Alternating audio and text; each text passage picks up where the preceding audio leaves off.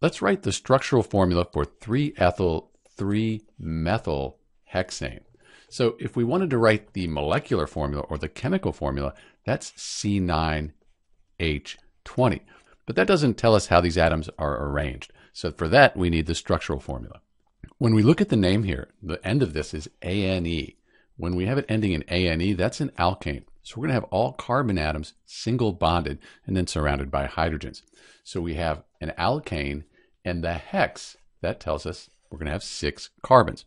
So let's start with a chain of six carbon atoms and they'll all have single bonds. So right now we have just hexane, six carbons, single bonds. That's our longest continuous chain. Now let's number the chain.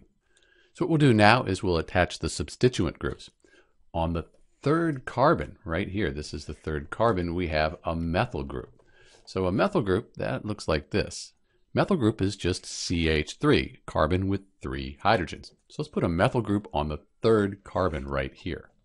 On that same third carbon, we also have an ethyl group. Ethyl group, that's CH2CH3. So let's put an ethyl group on the third carbon here, and we're going to have to put it down here below. So again, the chemical formula, or the molecular formula for 3-ethyl 3-methylhexane is C9H20, and this is our structural formula here. This is Dr. B, and thanks for watching.